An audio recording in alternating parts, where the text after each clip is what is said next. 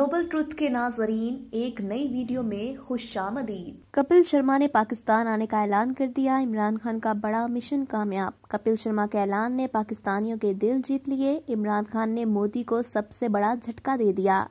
मोदी समेत हिंदू इंतहा पसंद आपे से बाहर, मोदी ने कपिल शर्मा के लिए बड़ा हुक्म जारी कर दिया।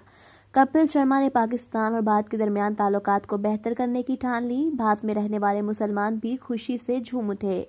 इस टॉपिक का बाकायदा आगाज़ करने से काबल नए आने वाले दोस्तों से गुजारिश है कि वह हमारे चैनल को सब्सक्राइब कर लें। शुक्रिया।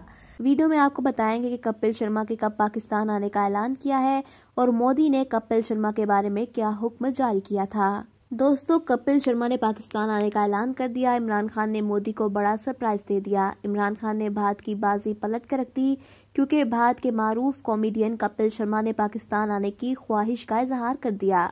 समाजी रबतों की वेबसाइट ट्विटर पर इनके एक मदाह ने सवाल किया कि पाकिस्तान आने का कोई चांस है, जिस पर उन्होंने कहा कि मैं करतारपुर साहब आना चाहता हूँ।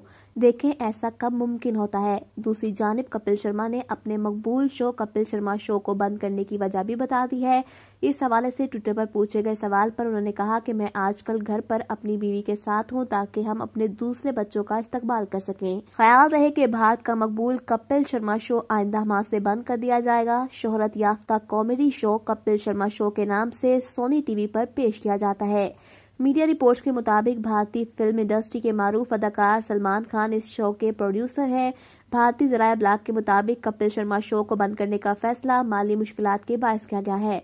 तहम अभी तक इंतजामिया की जानब से इस जमन में कुछ भी नहीं बताया गया है। भारतीय जराया ब्लॉक ने जराये से बताया है कि कपिल शर्मा शो को बंद करने की बड़ी वजह कोरोना के बायस फ़िल्मों का ना बनना है, जबकि शो में ज़्यादातर फिल्मी शख्सियात अपनी फ़िल्मों की प्रमोशन के लिए आती हैं।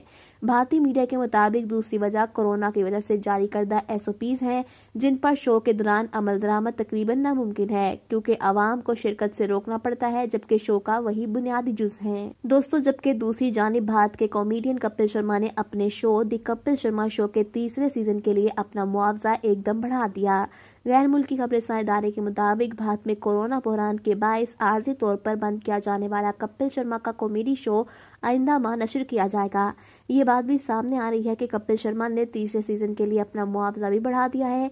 वाजह रहे कि पिछले सीज़न में कॉमेडियन एक किस्त के 30 लाख रुपए लेते थे। तहम अब तीसरे सीज़न में उन्होंने अपना मुआवजा 50 लाख कर दिया है। दूसरी जानब कोरोना बहरान के बायस आर्जी तौर पर बंद किए जाने वाले शो के हवाले से कपिल शर्मा का कहना था कि वो बच्चे की पैदाइश के बायस शो से दूर हैं, लेकिन कपिल शर्मा के यहाँ दूसरे बच्चे की पैदाइश के बाद भी अब तक प्रोग्राम दोबारा नशर नहीं किया गया। वाजह रहे कि कपिल शर्मा के शो में पाकिस्तान से अब तक वसीम अक्रम, बेमा अहलिया, शनेरा अक्रम, शुएब अख्तर, राहत फतेह अली खान, फवाद खान और शुएब मलिक, बिमा अहलिया, सानिया मिर्ज़ा मोमिल शेख समेत दीगर मुमताज़ शख्सियात शिरकत कर चुकी हैं। कपिल शर्मा शो को पाकिस्तान में भी बेहद पसंद किया जाता है। शो की इब्तदा में पाकिस्तानी फनकार नसीम विक्की भी इसका हिस्सा बने थे।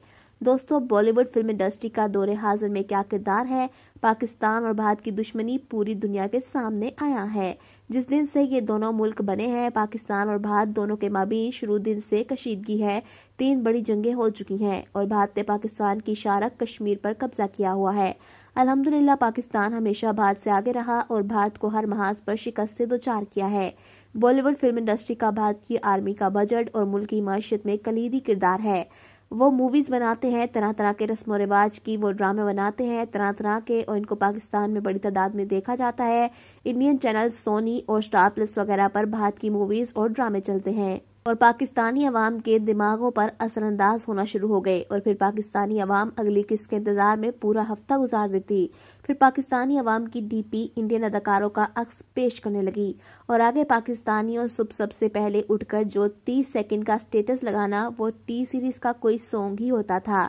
और आहिस्ता आहिस्ता नौबत यहाँ तक आ पहुँची कि मरते इंडियन अदाकार और सोग ये मनाते, चाहे मरने वाला कोई काफिर अदाकार ही क्यों न हो। हाल की तो बात है rest in peace Sushant Singh के स्टेटस नहीं लगे, क्या पोस्ट नहीं हुई क्या?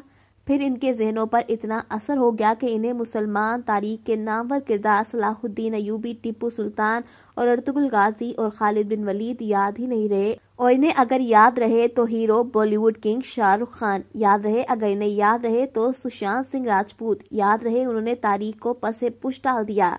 फिर इन पर इतना असर हुआ कि हेयर सैलून के बालों के स्टाइल में भी भारतीय अदाकारों की तस्वीर लगी नज़र आती और इन्हीं के जैसे बाल कटवाए जाते। फिर ड्रेसिंग में भी ऐसा ही हुआ।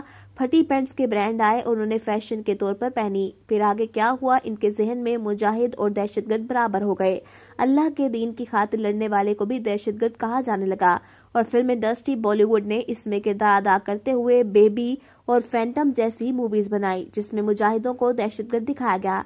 फिर आगे क्या हुआ? इन्हें कश्मीर का खून नहीं नज़र आया और उन्होंने कभी कश्मीर के स्टेटस नहीं लगाए और प्रोपागेंडा शुरू कर दिया, कश्मीर अब आज़ाद नहीं होगा। ये सब बॉलीवुड का किरदार है। इन्हें मुसलमानों का खून तो नज़र नहीं आता, पर इन्हें इंडियन मूवीज़ में हीरो को मार पड़ने पर बहुत अफसोस हुआ।